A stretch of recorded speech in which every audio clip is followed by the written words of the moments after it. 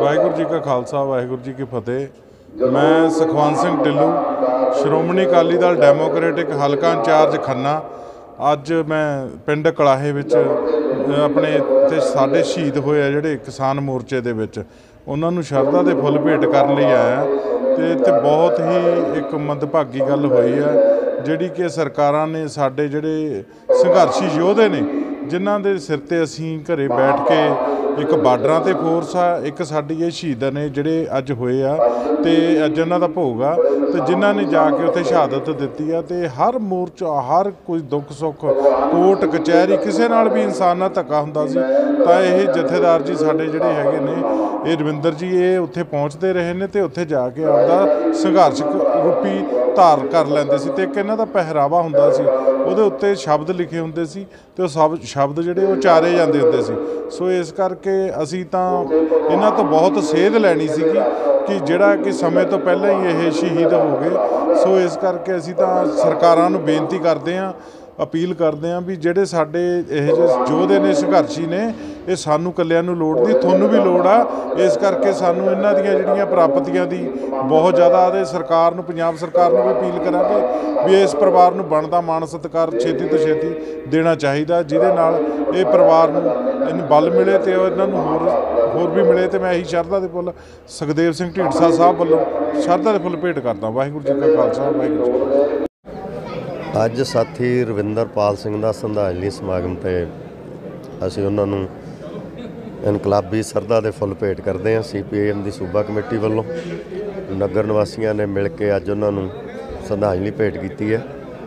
ਸਾਥੀ ਰਵਿੰਦਰਪਾਲ ਸਿੰਘ ਕਿਸਾਨ ਮੋਰਚੇ ਦਾ ਸ਼ਹੀਦ ਆ ਜਿਨੇ 26 ਤਰੀਕ ਤੋਂ ਲੈ ਕੇ ਲਗਾਤਾਰ ਕਿਸਾਨ ਮੋਰਚੇ ਦੇ ਅੰਦਰ, ਜਿੰਨਾ ਚਿਰ ਉਹਨਾਂ ਦੀ ਸਿਹਤ ਨਹੀਂ ਵਿਗੜੀ ਉੱਥੇ ਰਹੇ, ਤਾਂ ਉਹਨਾਂ ਦੀ ਸ਼ਹਾਦਤ ਹੋਈ ਆ।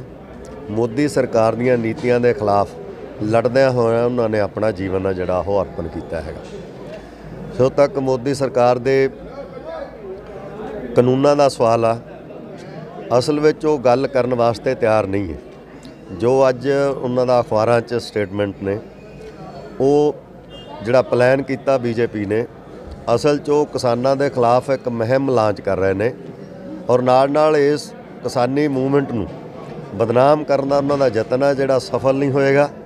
ਲਾਜ਼ਮੀ ਤੌਰ ਤੇ ਸੰਜਮਤਾ ਦੇ ਨਾਲ ਸਹਿਜਤਾ ਦੇ ਨਾਲ ਧੀਰਜ ਦੇ ਨਾਲ ਇਸ ਮੂਵਮੈਂਟ ਨੂੰ ਜਿੱਤਿਆ ਜਾਏਗਾ। ਔਰ ਸਮੁੱਚੇ ਕਿਸਾਨਾਂ ਨੂੰ ਵੀ ਮੈਂ ਅਪੀਲ ਕਰਦਾ ਕਿ ਲੜਦਿਆਂ ਹੋਇਆਂ ਕਦੇ ਵੀ ਧੀਰਜ ਨਹੀਂ ਛੱਡਣਾ ਹੁੰਦਾ। ਧੀਰਜ ਰੱਖ ਕੇ ਹੀ ਲੜਾਈ ਜਿੱਤੀ ਜਾਂਦੀ ਹੈ। ਜਦੋਂ ਧੀਰਜ ਖੋਲਿਆ ਤੇ ਉਦੋਂ ਲੜਾਈ ਦਾ ਨੁਕਸਾਨ ਹੋ ਸਕਦਾ ਹੈ। ਪਾਰਟੀ ਦੀ ਅਗਲੀ ਰਣਨੀਤੀ ਕੀ ਹੋਵੇਗੀ? ਦੇਖੋ ਪਾਰਟੀ ਦਾ ਕੱਲੀ ਦਾ ਸਵਾਲ ਨਹੀਂ ਕਿਉਂਕਿ ਦੇਸ਼ ਦੀਆਂ ਅਮ, 500 ਦੇ ਕਰੀਬ ਜਥੇਬੰਦੀਆਂ ਨੇ। ਵੱਖ-ਵੱਖ ਵਿਚਾਰਾਂ ਦੇ ਲੋਕ ਨੇ। ਇਹ ਠੀਕ ਆ ਵੀ ਉਹਨਾਂ ਸਾਰੇ ਵਿਚਾਰਾਂ ਦੇ ਲੋਕਾਂ ਨੂੰ ਅਸੀਂ ਕਿਸਾਨੀ ਮੁੱਦੇ ਦੇ ਉੱਤੇ ਸਾਡੀ ਜਿਹੜੀ ਜਥੇਬੰਦੀ ਆ ਆਲ ਇੰਡੀਆ ਕਿਸਾਨ ਸਭਾ, ਉਹਨਾਂ ਨੇ ਆਰਗੇਨਾਈਜ਼ ਕੀਤਾ। ਸਾਰੇ ਸੰਗਠਨਾਂ ਨੂੰ ਪਹਿਲਾਂ 250 ਸੰਗਠਨ ਜਥੇਬੰਦ ਕੀਤਾ। ਤੇ ਸੰਭਵ ਹੈ ਇਸ ਕਾਨੂੰਨ ਨੂੰ ਹਰਾਇਆ ਜਾ ਸਕਦਾ।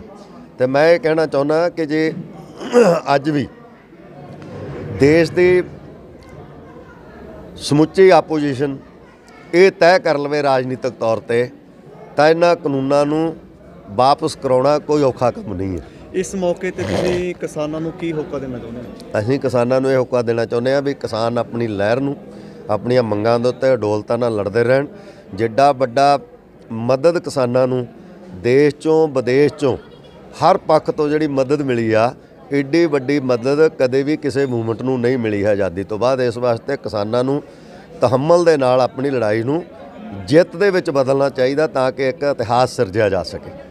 ਕਿਸਾਨਾਂ ਨੂੰ ਖਾਲਸਤਾਨੀ ਕਹਿ ਕੇ ਨਿੰਦਿਆ ਜਾ ਰਿਹਾ ਭੰਡਿਆ ਜਾ ਰਿਹਾ ਇਹਦੇ ਬਾਰੇ ਤੁਹਾਡੇ ਕੀ ਵਿਚਾਰ ਦੇਖੋ ਅਸੀਂ ਇਹ ਕਹਿਣਾ ਚਾਹੁੰਦੇ ਹਾਂ ਵੀ ਬੀਜੇਪੀ ਆਰਐਸਐਸ ਕਿਸੇ ਵੀ ਹੱਦ ਤੱਕ ਜਾ ਸਕਦੀ ਹੈ ਮੂਵਮੈਂਟ ਨੂੰ ਬਦਨਾਮ ਕਰਨ ਲਈ। ਉਹ ਤਾਂ ਇਹਨੂੰ ਮਾਓਵਾਦੀ ਕਹਿ ਰਹੇ ਆ ਕਮਿਊਨਿਸਟ ਕਹਿ ਰਹੇ ਆ ਲੈਫਟ ਵਾਲਿਆਂ ਨੂੰ ਕਹਿ ਰਹੇ ਨੇ ਉਹ ਸਾਨੂੰ ਵੀ ਸਾਰਿਆਂ ਨੂੰ ਐਲੀਗੇਸ਼ਨ ਕਰ ਰਹੇ ਨੇ। ਇਸ ਕਰਕੇ ਉਹ ਐਲੀਗੇਸ਼ਨ ਲਾਉਣਾ ਉਹਨਾਂ ਦੀ ਮਜਬੂਰੀ ਹੈ। ਤੇ ਸਾਡੀ ਇਹ ਡਿਊਟੀ ਹੈ ਵੀ ਅਸੀਂ ਇਹਨਾਂ ਐਲੀਗੇਸ਼ਨਾਂ ਨੂੰ ਲਾਂਭੇ ਰੱਖਦੇ ਹਾਂ, ਲੋਕਾਂ ਦੀ ਏਕਤਾ ਨੂੰ ਬਰਕਰਾਰ ਰੱਖਦੇ ਹੋਇਆਂ ਸਰਕਾਰ ਦੇ ਖਿਲਾਫ ਲੜਨਾ ਹੋਗਾ ਕਿਉਂਕਿ ਇਹ ਲੜਾਈ ਦੇਸ਼ ਦੇ ਪੂੰਜੀਪਤੀਆਂ ਦੇ ਨਾਲ ਨਾਲ ਵਿਦੇਸ਼ੀ ਪੂੰਜੀਪਤੀਆਂ ਨਾਲ ਵੀ ਸਾਡੀ ਲੜਾਈ ਹੈ। WTO ਤੇ IMF ਵਰਲਡ ਬੈਂਕ ਦੇ ਖਿਲਾਫ ਵੀ ਸਾਨੂੰ ਲੜਨਾ ਹੋਏਗਾ ਜਿਹੜਾ ਆਦਾਰੀਕਰਨ ਸੰਸਾਰੀਕਰਨ ਦੀਆਂ ਨੀਤੀਆਂ ਦੀ ਬਦੌਲਤ ਇਹ ਨੀਤੀਆਂ ਆਈਆਂ। ਮੈਂ ਇੱਕ ਉਦਾਹਰਨ ਦੇ ਤੌਰ ਤੇ ਕਹਿਣਾ ਚਾਹੁੰਦਾ, ਜੇ ਸਮਰੱਥ ਲੀਡਰਸ਼ਿਪ ਹੁੰਦੀ ਰਾਜ ਸਭਾ ਦੇ ਅੰਦਰ। ਇਹ ਠੀਕ ਆ ਵੀ ਲੋਕ ਸਭਾ ਚ ਉਹਨਾਂ ਦੀ ਮੈਜੋਰਟੀ ਹੈ ਮੈਂ ਉਹ ਇਸ ਕਰਕੇ ਉਦਾਹਰਨ ਦੇਣੀ ਚਾਹੁੰਦਾ ਤਾਂ ਕਿ ਲੋਕਾਂ ਨੂੰ ਇਹ ਗਿਆਨ ਹੋਵੇ। ਜਦੋਂ ਭੂਮੀ ਅਧਿਗ੍ਰਹਿਣ ਬਿੱਲ 2014-15 ਚ ਲੈ ਕੇ ਆਂਦਾ, ਮੋਦੀ ਨੇ ਪਹਿਲੀ ਸਰਕਾਰ ਬਣਦਿਆਂ ਸਾਰ। ਤਾਂ ਉਸ ਵੇਲੇ ਰਾਜ ਸਭਾ ਦੇ ਅੰਦਰ ਸਾਡੀ ਪਾਰਟੀ ਦੇ ਜਨਰਲ ਸਕੱਤਰ ਕਾਮੜ ਸੀਤਾਰਾਮ ਜੈਚਰੀ, ਰਾਜ ਸਭਾ ਦੇ ਮੈਂਬਰ ਸਨ।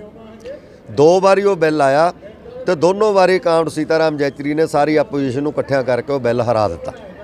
ਤੇ ਮੁੜ ਕੇ ਮੋਦੀ ਨੂੰ ਇਹ ਕਹਿਣਾ ਪਿਆ ਵੀ ਇਹ ਸਟੇਟਾਂ ਤੈਅ ਕਰ ਲੈਣ, ਕੇਂਦਰ ਵੱਲੋਂ ਕੋਈ ਕਾਨੂੰਨ ਨਹੀਂ ਬਣੇਗਾ। ਤੇ ਅੱਜ ਵੀ ਰਾਜ ਸਭਾ 'ਚ ਵਿਰੋਧੀ ਪਾਰਟੀਆਂ ਦੀ ਬਹੁਤ ਸੰਮਤੀ ਹੈ। ਸਾਡੀ ਤਾਕਤ ਜ਼ਰੂਰ ਘੱਟ ਆ, ਕਿਉਂਕਿ ਸਾਡਾ ਸਾਥੀ ਵੀ ਰਿਟਾਇਰ ਹੋ ਗਿਆ ਰਾਜ ਸਭਾ ਦੇ ਵਿੱਚੋਂ। ਤੇ ਅੱਜ ਜੇ ਵਿਰੋਧੀ ਪਾਰਟੀਆਂ ਯੂਨੀਫਾਈਡ ਹੋ ਕੇ ਐਨ ਤਿਆਰੀ ਨਾਲ ਜਾਂਦੀਆਂ, ਤਾਂ ਇਹ ਹਰਾਇਆ ਜਾ ਸਕਦਾ ਸੀ। ਆ ਪੋਹ ਮਾਘ ਦੀਆਂ ਰਾਤਾਂ ਵਿੱਚ ਕਿਸਾਨਾਂ ਨੂੰ ਉੱਥੇ ਦਿੱਲੀ ਬਾਰਡਰ ਤੇ ਬੈਠਣ ਦੀ ਜ਼ਰੂਰਤ ਨਹੀਂ ਸੀ। 6 ਮਹੀਨੇ ਅੱਗੇ ਜਾਂਦੀ ਸੀ ਇਹ ਗੱਲ। ਤੇ 6 ਮਹੀਨਿਆਂ ਬਾਅਦ ਫੇਰ ਹਰਾਉਂਦੇ ਆਪੇ ਸਰਕਾਰ ਨੂੰ ਵਿਪਤਾ ਪੈਣੀ ਸੀਗੀ। ਇਸ ਕਰਕੇ ਆਪੋਜੀਸ਼ਨ ਨੇ ਵੀ ਕਿਤੇ ਇਹ ਚ ਮਤਲਬ ਅਣਗਹਿਲੀ ਵਰਤੀ ਆ ਜੇ ਉਹ ਸਮੁੱਚੀ ਆਪੋਜੀਸ਼ਨ ਇਸ ਗੱਲ ਦੇ ਅੰਦਰ ਡਿਟਰਮੀਨੇਸ਼ਨ ਨਾਲ ਪੈ ਜਾਂਦੇ ਤਾਂ ਇਸ ਨੂੰ ਖਤਮ ਕੀਤਾ ਜਾ ਸਕਦਾ। ਇਹ ਰਾਸ਼ਟਰਪਤੀ ਨੂੰ ਕਾਨੂੰਨ ਬਣਾਉਣ ਦੇ ਤੇ ਦਸਖਤ ਕਰਨ ਦੀ ਲੋੜ ਹੀ ਨਹੀਂ ਸੀ ਪੈਣੀ। ਅ, ਮਨ ਭਾਵਕ ਵੀ ਆ ਕਿਉਂਕਿ ਮੈਂ ਰਵਿੰਦਰਪਾਲ ਜੀ ਨੂੰ 10 ਕੁ ਮਿੰਟ ਲਈ ਮਿਲਿਆ ਸੀ। ਕਿਸਾਨੀ ਧਰਨੇ ਤੇ, ਕਿਸਾਨੀ ਮੋਰਚੇ ਤੇ। ਸੋ ਪਤਾ ਨਹੀਂ ਸੀਗਾ ਕਿ ਉਹ ਜਿਹੜੀ ਪਹਿਲੀ ਮੁਲਾਕਾਤ ਆ, ਇਹੀ ਆਖਰੀ ਆ, ਦੁਬਾਰੇ ਉਹਨਾਂ ਨਾਲ ਮੇਲ ਨਹੀਂ ਹੋਣੇ। ਕਿਉਂਕਿ ਕਈ ਬੰਦਿਆਂ ਨੂੰ ਤੁਸੀਂ ਜ਼ਿੰਦਗੀ 'ਚ ਬੜੀ ਵਾਰੀ ਮਿਲਦੇ ਹੋ, ਪਰ ਜਦੋਂ ਵੀ ਮਿਲਦੇ ਹੋ, ਇਹੀ ਲੱਗਦਾ ਹੁੰਦਾ ਸ਼ਾਇਦ ਇਹਨੂੰ ਪਹਿਲੀ ਵਾਰੀ ਮਿਲੇ ਆ। ਪਰ ਇਹ ਕੁਝ ਕੁ ਸ਼ਖਸੀਅਤਾਂ ਕੁਝ ਇਨਸਾਨ ਇਹੋ ਜਿਹੇ ਹੁੰਦੇ ਆ, ਜਿਹੜੇ 5-10 ਮਿੰਟ ਦੇ ਵਿੱਚ ਹੀ ਆਪਣੀ ਇਹੋ ਜੀ ਛਾਪ ਛੱਡ ਜਾਂਦੇ ਆ ਕਿ ਤੁਹਾਨੂੰ ਇਹ ਲੱਗਣ ਲੱਗ ਜਾਂਦਾ, ਪਤਾ ਨਹੀਂ ਤੁਸੀਂ ਕਿੰਨੀ ਦੇਰ ਤੋਂ ਉਹਨਾਂ ਨੂੰ ਜਾਣਦੇ ਹੋ। ਸੋ ਰਵਿੰਦਰਪਾਲ ਜੀ ਦੇ ਵਿੱਚ ਇਹ ਗੁਣ ਸੀਗੇ ਔਰ ਉਹਨਾਂ ਦੀ ਜਿਹੜੀ ਇਹ ਜ਼ਿੰਦਗੀ ਆ, ਇਹ ਕਿਸਾਨੀ ਸੰਘਰਸ਼ ਦੇ ਲੇਖੇ ਲੱਗੀ ਆ। ਕਿਉਂਕਿ ਉਹ ਜਿਹੜੇ ਸਾਡੇ ਸ਼ਹੀਦ ਨੇ, ਉਹਨਾਂ ਦੇ ਜੋ ਜੋ ਉਹਨਾਂ ਨੇ ਜੋ ਇਸ ਸਮਾਜ ਦੀ ਸਿਰਜਣਾ ਕੀਤੀ ਸੀ, ਜੋ ਸੋਚੀ ਸੀ, ਹਨਾ, ਕਿ ਇਹੋ ਜਿਹਾ ਸਮਾਜ ਹੋਵੇ, ਉਹ, ਉਸ ਰਾਹ ਤੇ ਤੁਰਨ ਵਾਲੇ ਸੀ, ਲੋਕਾਂ ਨੂੰ ਜਗਾਉਂਦੇ ਸੀ, ਹਨਾ, ਚੋਗਾ ਉਹਨਾਂ ਦੇ ਗਲ 'ਚ ਪਾਇਆ ਹੋਇਆ ਸੀ। ਮੈਂ ਵੀ ਜਦੋਂ ਫਸਟ ਟਾਈਮ ਦੇਖਿਆ ਤਾਂ ਹਰੇਕ ਬੰਦੇ ਦਾ ਧਿਆਨ ਜਾਂਦਾ ਹੀ ਆ। ਸੋ ਮੈਨੂੰ ਵੀ ਸੀਗਾ ਕਿ ਇਹ ਕੌਣ ਆ ਬੰਦਾ ਜਿਹੜਾ ਪ੍ਰਣਾਮ ਸ਼ਹੀਦਾਂ ਨੂੰ ਲਿਖ ਕੇ ਔਰ ਇਹਨਾਂ ਨੇ ਕਿਉਂ ਗਲੇ ਦੇ ਵਿੱਚ ਪਾਇਆ ਹੋਇਆ? ਪਰ ਜਦੋਂ ਮੈਂ ਉਹਨਾਂ ਨੂੰ ਮਿਲਿਆ ਔਰ ਉਹਨਾਂ ਦੀਆਂ ਗੱਲਾਂ ਸੁਣੀਆਂ, ਸੋ ਉਦੋਂ ਵੀ ਉਹ ਇਹੀ ਕਹਿ ਰਹੇ ਸੀ ਕਿ ਬੇਟਾ ਮੈਂ ਤਾਂ ਮੇਰੀ ਜ਼ਿੰਦਗੀ ਸੰਘਰਸ਼ ਦੇ ਲੇਖੇ ਆ ਔਰ ਮੈਂ ਤਾਂ ਆਪਣੇ ਆਖਰੀ ਦਮ ਤੱਕ ਹਨਾ ਲੋਕਾਂ ਨੂੰ ਜਗਾਉਂਦੇ ਰਹਿਣਾ। ਸੋ ਮੈਨੂੰ ਲੱਗਦਾ ਉਹ ਜਾਂਦੇ ਜਾਂਦੇ ਜਿਹੜਾ ਬਹੁਤ ਵੱਡਾ ਹੁੱਕਾ ਦੇ ਕੇ ਗਏ ਆ, ਜੋ ਉਸ ਦਿਨ ਸੰਤ ਰਾਮ ਉਦਾਸੀ ਜੀ ਦੀਆਂ ਲਾਈਨਾਂ ਉਹਨਾਂ ਨੇ ਗੁਣਗੁਣਾਈਆਂ, ਉੱਠ ਕਿਸਾਨਾਂ ਉੱਠ ਵੇ ਉੱਠਣ ਦਾ ਵੇਲਾ। ਸੋ ਜਿਹੜਾ ਦਰਦ ਜੋ ਉਹਨਾਂ ਦੇ ਦਿਲੋਂ ਨਿਕਲ ਕੇ ਆਇਆ ਕਿਉਂਕਿ ਦਿਲ ਤੋਂ ਉਗਾ ਰਹੇ ਸੀ ਔਰ ਦਿਲੋਂ ਇਸ ਸੰਘਰਸ਼ ਨਾਲ ਜੁੜੇ ਹੋਏ ਆ। ਔਰ ਬਾਅਦ ਦੇ ਵਿੱਚ ਮੈਂ ਹੋਰ ਜਿਹੜਾ ਉਹਨਾਂ ਨੂੰ ਜਾਣਿਆ, ਜੋ ਕਿ ਪਰਿਵਾਰ ਦੇ ਜੇ ਸਾਡੇ ਸਾਰੇ ਉਹਨਾਂ ਦੇ ਬੇਟੇ ਖੜੇ ਆ, ਕਿ ਬੜਾ ਸੰਘਰਸ਼ਪੂਰਨ ਉਹਨਾਂ ਦਾ ਜੀਵਨ ਰਿਹਾ। ਸੋ ਮੈਂ ਸਮਝਦਾ ਇਹ ਸਾਡੇ ਸਮਾਜ ਦੀ ਬੜੀ ਬਦਕਿਸਮਤੀ ਆ ਕਿ ਜਿਹੜੇ ਸੱਚ ਦੇ ਰਾਹ ਤੇ ਲੋਕ ਚੱਲਣ ਵਾਲੇ ਆ, ਉਹਨਾਂ ਨਾਲ ਹਮੇਸ਼ਾ ਹੀ ਇੱਥੇ ਵਤੀਰਾ ਮਾੜਾ ਹੁੰਦਾ ਆਇਆ। ਸੋ ਉਹਨਾਂ ਦੀ ਜ਼ਿੰਦਗੀ ਤੇ ਵੀ ਜੇ ਆਪਾਂ ਝਾਤ ਮਾਰਦੇ ਆ ਸੋ ਉਹੀ ਕੁਝ ਉਹਨਾਂ ਦੀ ਜ਼ਿੰਦਗੀ ਚੋਂ ਸਾਨੂੰ ਲੱਭਦਾ ਕਿ ਕਿਵੇਂ ਉਹਨਾਂ ਨੇ ਸਾਰੀ ਜ਼ਿੰਦਗੀ ਕੇਸਾਂ ਦੇ ਵਿੱਚ ਉਹਨਾਂ ਨੂੰ ਉਲਝਾਇਆ ਗਿਆ ਉਹਨਾਂ ਦੀ ਨੌਕਰੀ ਦੇ ਲਈ। ਸੋ ਪਰ ਉਹ ਬਾਬਾ ਜਾਂਦਾ ਜਾਂਦਾ ਲੋਕਾਂ ਨੂੰ ਜਗਾ ਗਿਆ। ਸੋ ਉਹਨਾਂ ਦਾ ਜੀਵਨ ਪੰਜਾਬ ਸਰਕਾਰ ਤੋਂ ਕੀ ਮੰਗ ਹੈ ਤੁਹਾਡੀ? ਮੈਂ ਬਾਕੀ ਤਾਂ ਪਰਿਵਾਰ ਜ਼ਿਆਦਾ ਵਧੀਆ ਤਰੀਕੇ ਨਾਲ ਦੱਸ ਸਕਦਾ, ਪਰ ਮੈਂ ਇਹੀ ਚਾਹੂੰਗਾ ਕਿ ਜੋ ਉਹਨਾਂ ਦੇ ਉੱਪਰ ਝੂਠੇ ਜੋ ਕੇਸ ਹਲੇ ਤੱਕ ਚੱਲ ਰਹੇ ਆ, ਉਹਦੇ ਤੇ ਜੋ ਚਾਹੇ ਮਹਿਕਮੇ ਵੱਲੋਂ ਚੱਲ ਰਹੇ ਸੀ, ਉਹਨਾਂ ਨੂੰ ਮਾਫੀ ਮੰਗਣੀ ਚਾਹੀਦੀ ਆ ਔਰ ਉਹਨਾਂ ਦਾ ਜੋ ਵੀ ਇੱਜ਼ਤ ਮਾਣ ਆ, ਉਹ ਬਹਾਲ ਹੋਣਾ ਚਾਹੀਦਾ ਔਰ ਉਹਨਾਂ ਦੀ ਲੇ- ਜ਼ਿੰਦਗੀ ਆ ਜਿਹੜੀ, ਉਹ ਕਿਸਾਨੀ ਸੰਘਰਸ਼ ਦੇ ਲੇਖੇ ਆ ਔਰ ਇਹੋ ਜਿਹੇ ਯੋਧਿਆਂ ਦੀ ਸਰਕਾਰ ਨੂੰ ਵੀ ਕਦਰ ਕਰਨੀ ਚਾਹੀਦੀ ਹੈ